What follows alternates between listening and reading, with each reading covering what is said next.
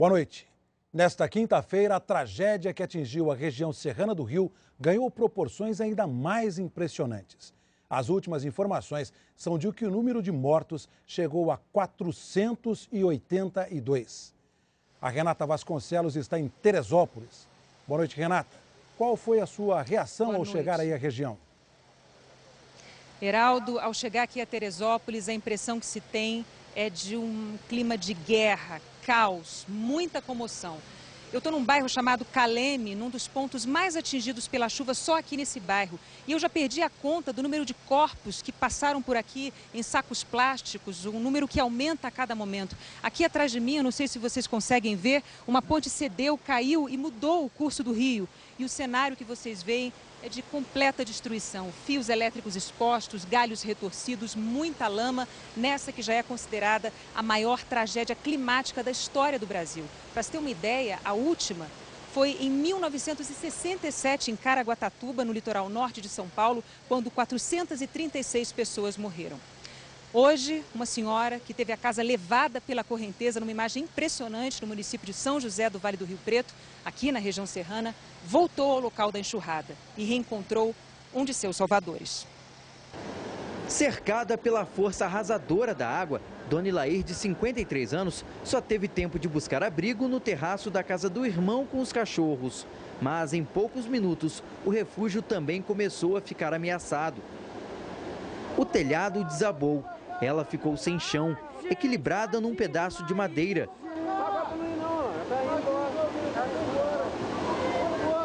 Do alto veio a ajuda dos vizinhos. A corda alcançou a dona de casa na hora certa. As últimas paredes desmoronaram e Lair saltou para sobreviver.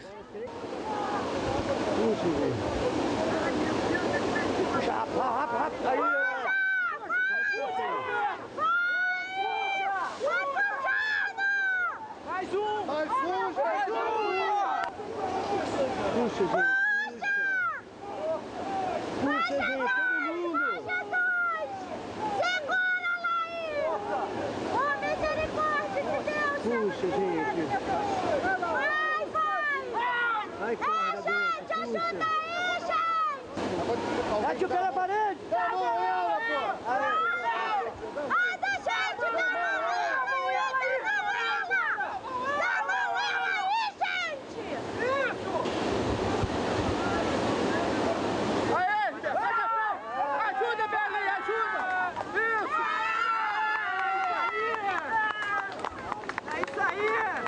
O repórter André Curvelo sobrevoou a cidade de Dona Ilair, São José do Vale do Rio Preto, para mostrar as consequências do temporal. Entre o barranco que desceu e o rio que subiu, as casas não resistiram. Desta só restou a piscina. Olha só as pessoas aí tentam ainda retirar do entulho algum pertence, algum documento. As pessoas vão tirando com as mãos o que podem. A oficina virou ferro velho e os carros que ainda funcionam não têm por onde seguir. O único meio de se chegar a vários pontos da região serrana é de helicóptero. E aqui de cima a gente percebe que o socorro pode demorar a chegar a áreas inteiras que estão ilhadas. Este trecho da rodovia BR-116, principal acesso à cidade, simplesmente desapareceu. Nem as equipes de resgate conseguiram passar. Famílias inteiras pedem socorro e já falta o básico: água e comida. As pessoas saíram de casa porque nem a casa nesse momento é um lugar seguro. Veja que o rio levou parte da encosta. Mais uma cena impressionante.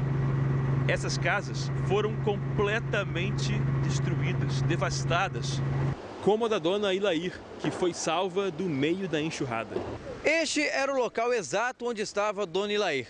O terraço vinha até aqui. Tudo veio abaixo. Agora, foi preciso muita coragem para ela salvar a própria vida.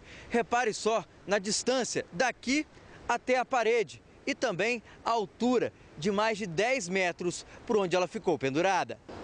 Hoje, a dona de casa se emocionou ao voltar ao lugar onde quase perdeu a vida.